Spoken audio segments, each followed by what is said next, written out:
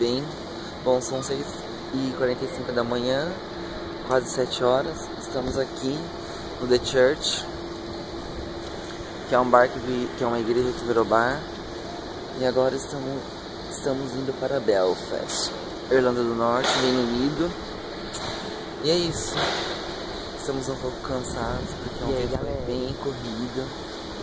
Nós fomos para Hall e também fomos no churrasco, era um pouquinho longe.